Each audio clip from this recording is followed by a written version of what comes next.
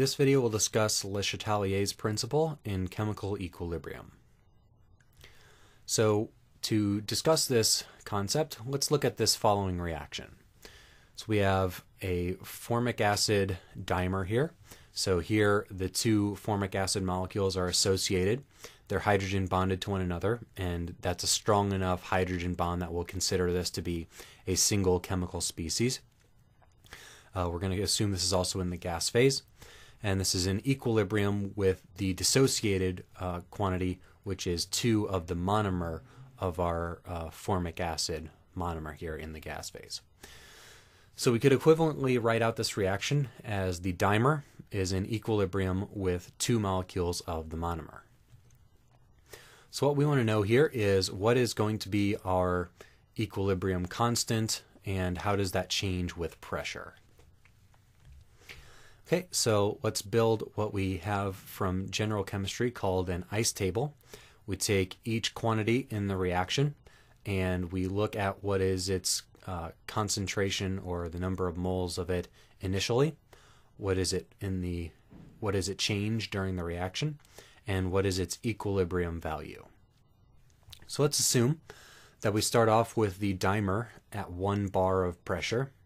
Let's assume that we have the monomer starting off at zero, that there's no monomer there, and that the sum of these two is the total pressure, which is equal to 1 plus 0, which is 1. Okay, so as the extent of reaction proceeds, as the reaction goes, we consume the dimer. Its coefficient is 1, so it's minus epsilon for its coefficient. We're going to produce the monomer, so its coefficient is 2. It's a product, so we do plus. So the change in the number of moles of the monomer is plus 2 epsilon.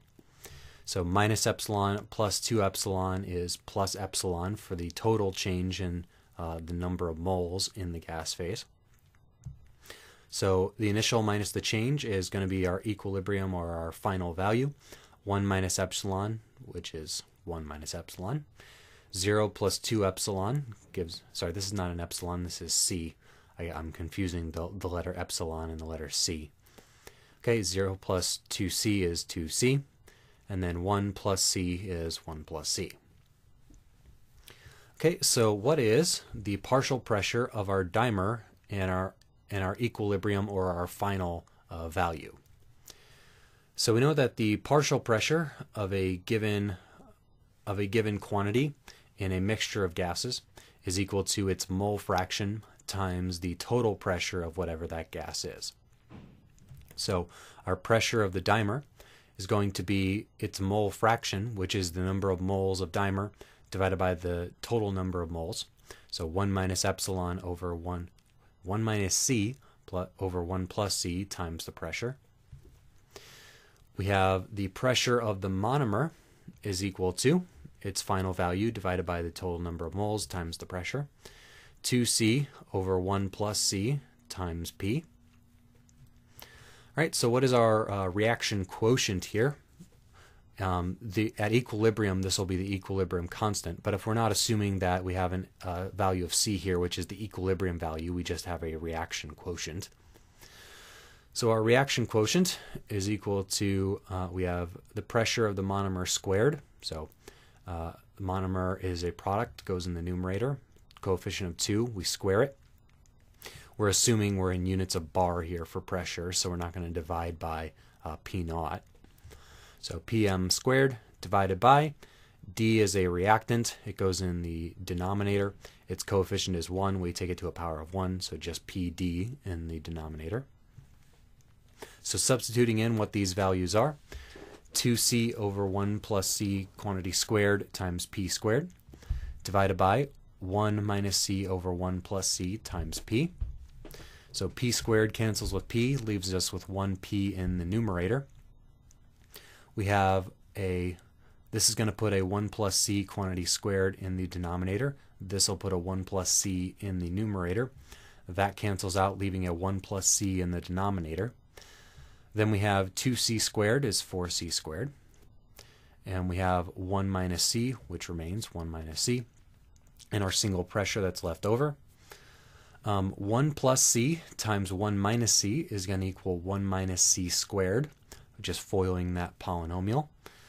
So we have that the reaction quotient equals 4 times the extent of reaction squared over 1 minus the extent of reaction squared times the pressure of the total system. Okay, so moving on to our Gibbs energy of reaction, delta Rg equals the standard Gibbs energy of reaction, delta Rg naught, plus RT times the natural log of the, of the reaction quotient Q. We know that the standard Gibbs reaction energy equals minus RT times the natural log of the equilibrium constant, minus RT log Kp, then plus RT log Q. We can add these two together by the following. We have that the Gibbs energy change of the reaction equals RT times the natural log of the reaction quotient divided by the equilibrium constant. So substituting in our value of our reaction quotient, we have that the delta Rg equals RT natural log 4c squared over 1 minus c squared times p over our equilibrium constant. Now we'll remember that uh, the Gibbs energy equals zero at equilibrium. So what has to be the case is that our equilibrium constant is has to be, if we solve this equation for it, has to be 4 times the extent of reaction at equilibrium squared divided by 1 minus the extent of reaction at equilibrium squared times pressure, which is agreeing with what we already saw down here for the reaction quotient. We said if you're at equilibrium, then this is just the equilibrium constant, and we have the equilibrium extent of reaction. If you're not at equilibrium, then this is the reaction quotient, and the extent of reaction is whatever value you choose. Okay, so there's our equilibrium constant in terms of the extent of the reaction. So what do we see here? So if the pressure goes up, then P goes up, then the term here has to go down. And the term here goes down whenever the extent of reaction goes down. If you plot this out, uh, if you plot 4x squared over 1 minus x squared, you can convince yourself that the value of that is going to go down whenever you decrease the value of x. Similarly, if the pressure goes down, uh, this quantity in parentheses has to go up, so the extent of reaction has to go up. But we'll notice here that there are more moles of gas in the products than there are in the reactants. So the total pressure of the system is going to increase the further the extent of the reaction goes. So if the external pressure increases, our system responds to decrease the extent of reaction and decrease the total pressure of our reactants and products. If the pressure goes down, our system responds by producing more moles of gas and responding to counteract uh, that, that perturbation by increasing the extent of the reaction. So this is a demonstration of Le Chatelier's principle, and that is that the system responds to external perturbations to its state to minimize their effect on the state of the system. So if the pressure goes up, we're going to go towards the side that consumes moles or decreases the pressure of our system. If the pressure goes down, we're going to respond to move towards the direction that will increase the pressure of our system. And this is uh, follows for other things as well. If we absorb heat, we're going to respond to uh, the direction that that decreases the heat. If we if we lose heat, we're going to respond towards the direction that produces heat. The equilibrium constant is constructed such that the system always responds to uh, go against and minimize the effect of however our system has changed.